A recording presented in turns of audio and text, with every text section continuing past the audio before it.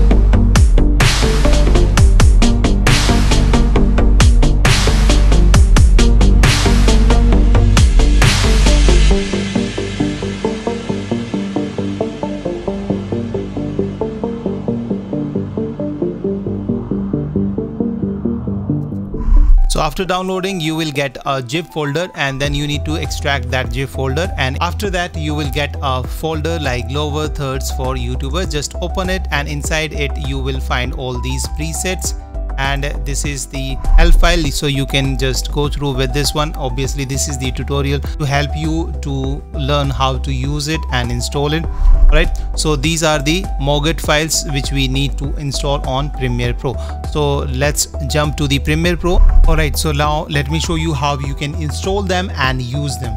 So there are basically three ways to installing the MOGRT files in premiere pro. So if you are using the older version the number one just go to the essential graphics panel. And if it is not visible over here just go to the windows and select the essential graphics. That way this panel would be available right over here. So you have to come down over here on the plus icon. Just click on this plus icon and browse the downloaded folder. Wherever you have downloaded these presets select one of these presets and click open and that way this would be available right over here. Now let me show you the second way of installing the MOGRT files in premiere pro. And that is if you are using the latest version of the premiere pro in that case you can drag and drop all of these files on the essential graphics panel. And that way these would be available right over here now let me show you the third and the easiest way of installing it.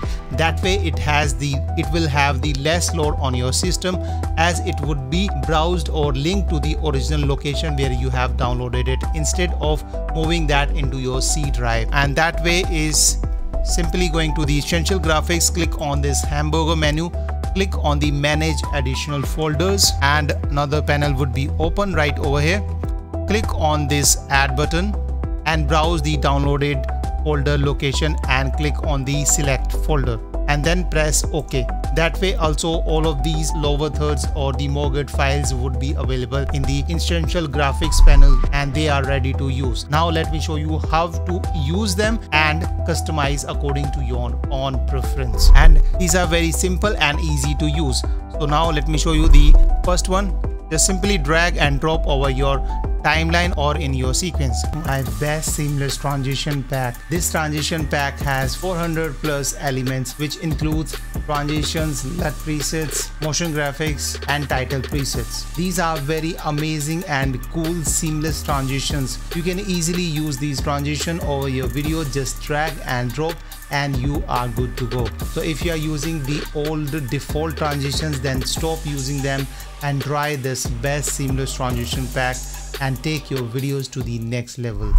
So once once dropped over your timeline just let's see how it looks. So this is how it looks. Just click on this file and then go to the essential graphics panel and in the edit option you will have the text one. So you can customize this text according to your own liking you can write your own name right over here. And the fonts which I have used in this project are the Montserrat and the Integral CF. You can download both of these fonts from the link provided within the downloaded folder. Alright if you don't want to install these fonts you can use your own fonts as well. As you can see over here you will click on this. You will see all the fonts which have been installed on your system or you can simply get it from the Adobe as well. Then we have the option to make it bold. We can increase its size. We can make it smaller. We can make it italic. We can make it fox bold. Okay? And all these options are available. Then we have the option of positioning.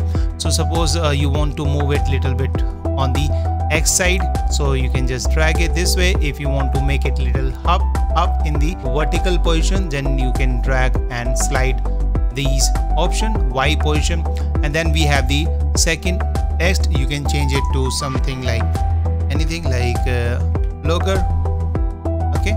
And this would be updated right over here. Then we have again option to change the font. If you don't like this font you can change any other font. Then we have the option to change it to let's say make it little thinner. If you want to make it light you can choose this one so all these options are available. Again we have the all options fox bold italic and uh, uh, you can make them all caps etc then we have the position for the second text as well x position and the y position. So you can adjust all of these. And then we have the option of color. So you need to click on this and that would open the color parameters. So first we have the color of uh, the first text. So you can change this uh, to something like this red okay it would be updated. And then we have the line color so we can change the line color as well. So if you click on this and you can make it something like this and line color would also be changed. Then we have the option of overall scaling so you can make it smaller or larger depending on your need.